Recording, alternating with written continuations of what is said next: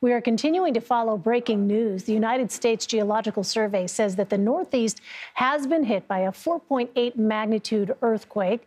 They report the epicenter is Whitehouse Station in central New Jersey, but shaking could be felt in parts of New York, New Jersey, Pennsylvania, and Connecticut. Dr. Judith Hubbard has spent 30 years studying earthquakes around the world, is currently a visiting scientist at Cornell University, and joins us now. Uh, thanks so much, Judith, for being with us. Um, first of all, as we sort of get our heads around what took place for many of us here in the Northeast, it's the first time we've experienced something like this in this part of the world. Can you, first of all, talk about the rarity of a quake like this on the East Coast? Sure. Um, and so, so most of the time when we hear about earthquakes, we hear about them happening along plate boundaries, which in the United States includes California, uh, Oregon, Washington, and Alaska. But here on the East Coast, people often don't re- realize that there are earthquakes here as well. Those earthquakes are usually quite a lot smaller and quite a lot more rare, and they don't happen on plate boundary faults. They typically happen on very old faults that are reactivating due to large scale tectonic stresses. Um, the earthquake that just hit New Jersey is one of the largest that's ever hit the New York City area. Um, so, Judith, I'm wondering you said that large scale tectonic stresses, um, to use your phrase, that is something that could potentially contribute to an earthquake. We don't know exactly, obviously, at this stage, um, what surrounded this event. But I wonder, what are those kinds of large scale tectonic stresses? What does that actually mean? Yeah, that's a good question. Um, so, so most of the time we think about you know, one plate is moving past another plate, and that makes a lot of sense because mm-hmm. you have to have fractures between the two plates. Here we are in the middle of a plate, but even when you're in the middle, when plates are moving past each other on the edges, that can cause stresses to transmit into the interiors of the plates. So the, the stresses don't just stay on the edges. The whole plate is getting squished and bumped and squeezed, and that can cause stresses on these old fractures that exist inside the plate. And actually, the location where the earthquake happened is on a fault that we know about. It's a really super old fault that probably formed about 200 million years ago when North America first split off of Africa. Um, but it's still a fault, it's still a fracture in the earth. And so when you have these stresses being transmitted into the interior, they're often going to cause slip on places where the crust is weaker. So places where the crust is already broken in the past. Given that it is a rarity for these kinds of events to occur, um, here I'm thinking particularly on the island of Manhattan, where you have many structures that are quite tall.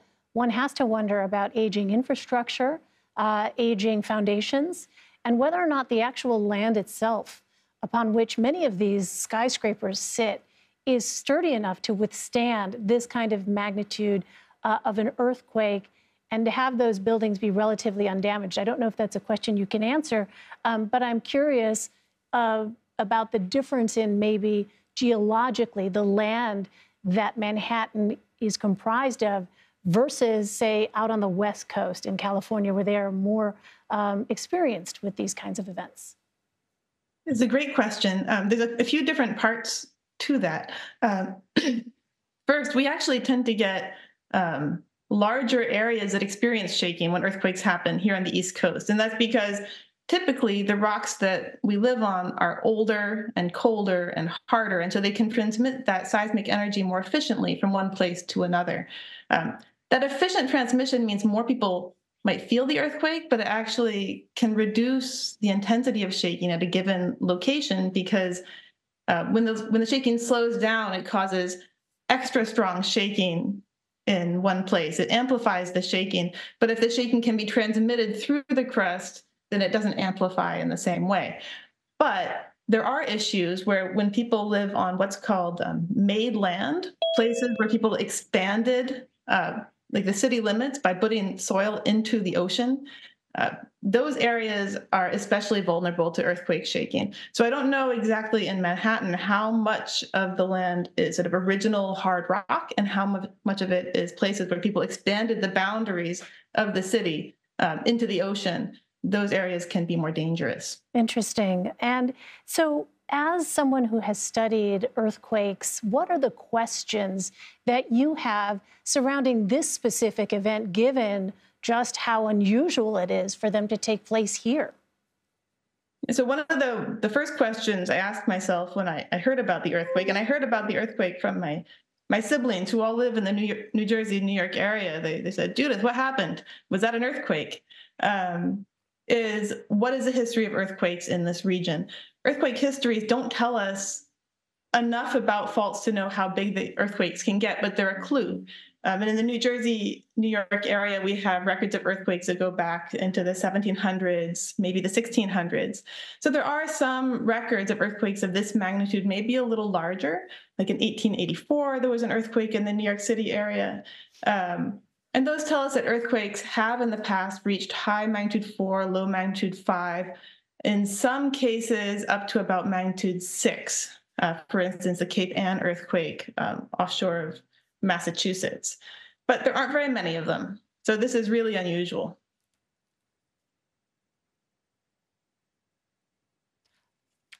Uh, Judith, I'm so sorry you dropped out for just a moment, but um, for our viewers that may just be joining us now, it is just before noon here on the East Coast. Uh, and we are continuing to follow breaking news here. Again, the United States Geological Survey says that the Northeast has been hit by a 4.8 magnitude earthquake. And we are fortunate to be joined uh, by Judith Hubbard, who has spent 30 years combined uh, studying earthquakes around the world, currently is a visiting scientist at Cornell University. And Judith, we are, um, as, as we are watching this shot of Manhattan here, we should let our viewers know we are also currently keeping an eye uh, on a picture of where we expect New York City Mayor Eric Adams to speak at any moment. So when that happens, we'll of course bring that to you. But just a short time ago, Judith, we heard from Governor Kathy Hochul of New York State describing the initial assessments as they continue to try and survey whatever type of damage or injuries may have resulted uh, because of this uh, earthquake. And as of now, we have not received uh, word of anything particularly extensive. Uh, but if you could give us a sense, Judith, of the context. When we talk about 4.8 magnitude, can you give us a sense of perspective? How large is that in comparison to other major quakes in recent history? Sure. A magnitude 4.8 is not that large. It's large enough to cause um, moderate shaking near the epicenter, low levels of shaking further away. Some of the shaking reports for this earthquake come from a thousand kilometers away. That's maybe 600 miles. So that's that's really far. But the shaking intensities were, were relatively low. Um, in comparison, there was just an earthquake in Taiwan, a magnitude 7.4. A 7.4 releases about 8,000 times as much energy as a magnitude 4.8. Um, so, so it's a, clearly a much larger event than than the recent magnitude 4.8. One thing that people will probably be um, need to watch for now is aftershocks of this earthquake. The magnitude of aftershocks depends on uh, sort of the, the magnitude of the original earthquake, but the USGS does put out a forecast for aftershocks, and it's saying that most likely, aftershocks will stay below magnitude four, but there is a chance of, earth, of aftershocks above magnitude four. Over the next year, a chance, an 8% chance of aftershocks above magnitude five, which is actually bigger than the original event, and even a 1% chance of a magnitude six in the next year. Uh, so the earthquake causes a stress change in the crust, and that can cause other earthquakes to occur on nearby faults. Really interesting to hear that because we also heard Governor Hochul, in fact, warn folks that aftershocks were a possibility and that if they were felt, that they should essentially brace themselves and protect themselves uh, in the event that there were aftershocks.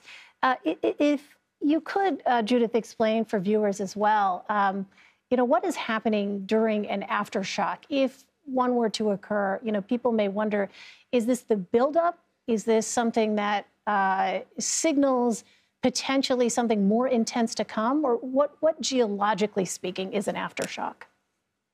So we use different words. We use words like foreshock, main shock, aftershock.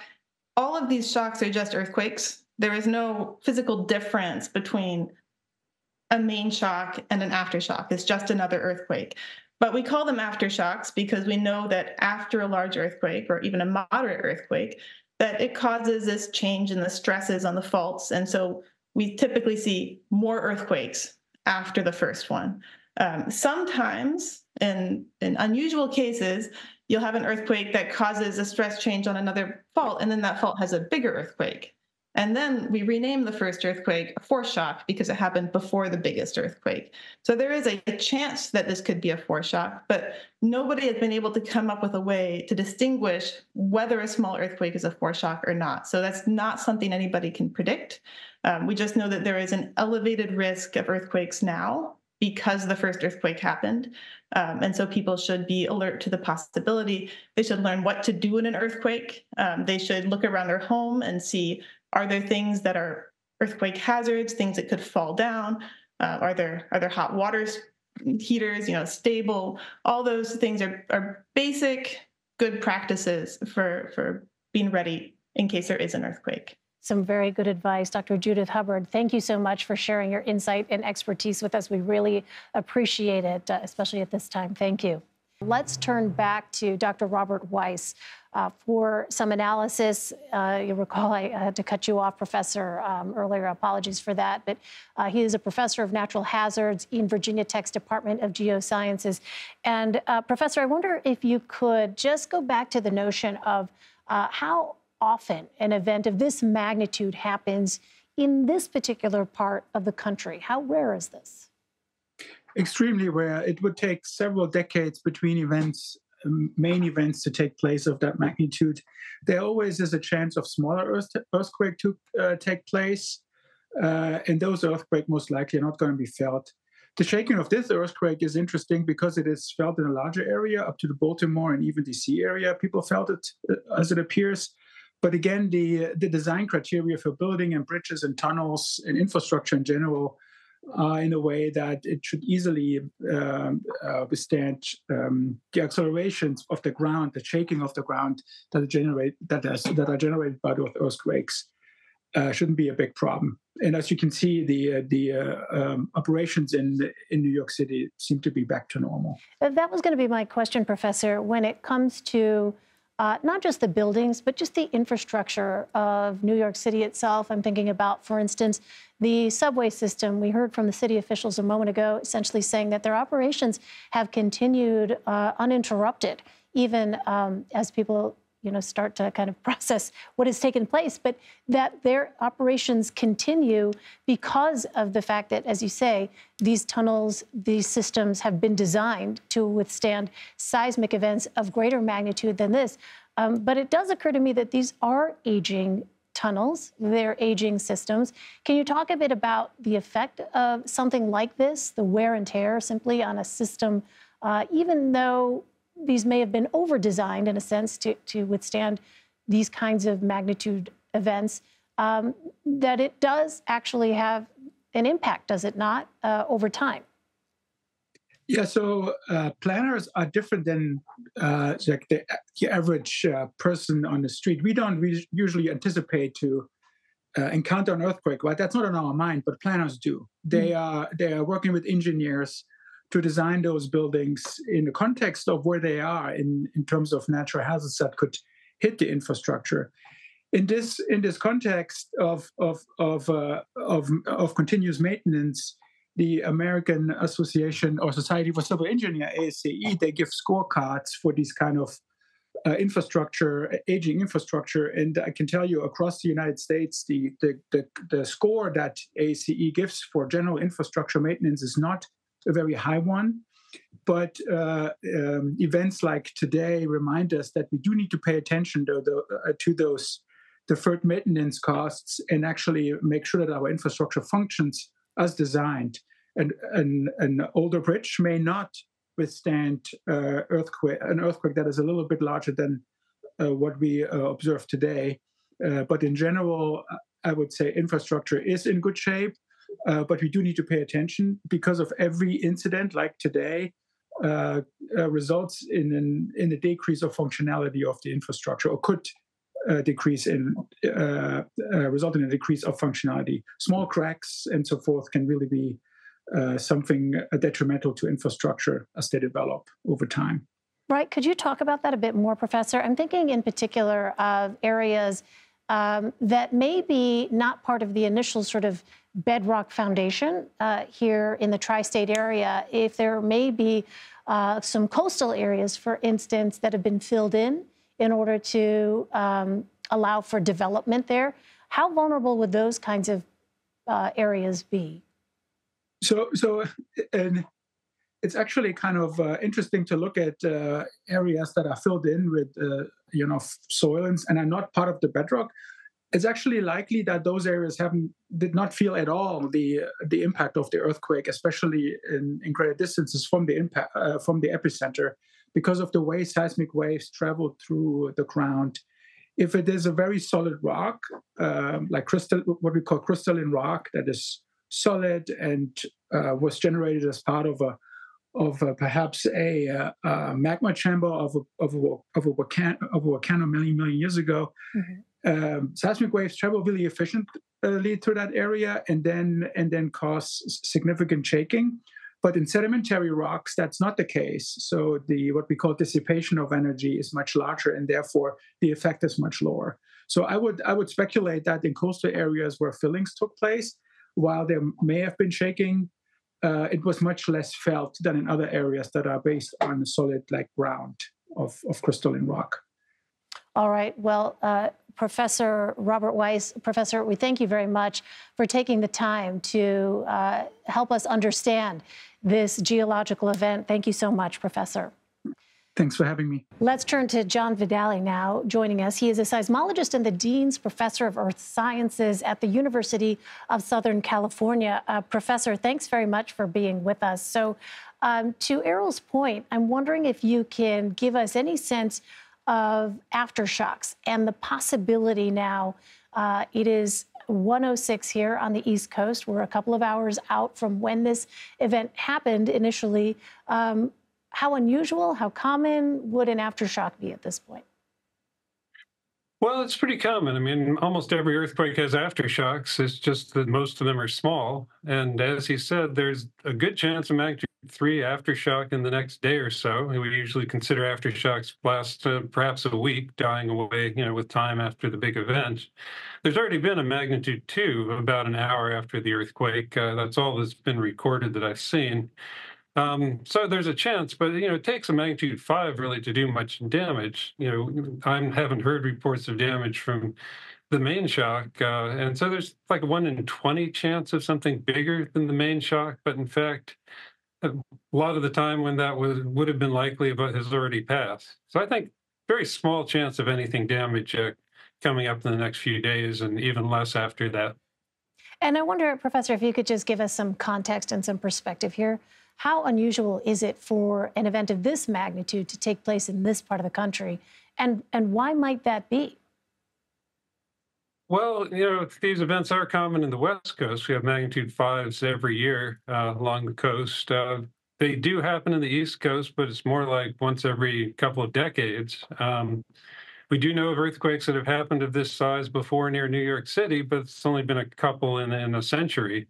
So um, it's not a shock. On the other hand, it is an unusual occurrence. Um, we like to say it's a it's a reminder that you know we need to prepare in a place like New York City that rarely gets earthquakes. Even a little shake can kind of test some systems, and good that people are inspecting to make sure that nothing was disturbed. Yeah, what would be the questions that you have um, maybe on that front, Professor? Just structurally speaking, you know, these are inspections that are continuing to happen along bridges, in, in tunnels. We heard New York City Mayor Eric Adams talk about at this point, there does not appear to be any kind of impacts, um, major impacts to infrastructure, certainly no injuries to speak of. But over the long term, um, what would be the questions or concerns that you might have, given that it was not a 5.0, but a 4.8 is certainly something that uh, got a lot of a lot of people's attention for sure. Yeah, well, it you know would lead people to take a more careful look at the faults in the region. You know, we we have geodetic instruments like your car with GPS where we can try to tell if the ground is shifting. Um, we always could use a more precise map of just where the faults are and how, how fast the tectonic plates are shifting. Um, you know, it's far from the major boundaries in New York. Uh, uh, but also people can take a look at, you know, which places that people have built or have amplified shaking. Uh, you know, we soft ground can increase shaking by like a factor of two, and we're always trying to calibrate the engineering to make sure that the buildings are built to the standard that they need, even if the earthquakes only come every hundred years. And is there a way, um, when you talk about aftershocks, is there a way to sort of predict, um, you know, the frequency or or uh, the the time frame at all that an aftershock might occur? Uh, yeah, we, we do a lot of the statistics. I mean, mathematically, I could give you a rule. It falls off like one over time, but basically, you know, after a week, it's uh, fallen off to about a tenth the rate that you'd see after just one day. Um, and but we can't predict any individual event. Uh, earthquake prediction has basically stalled.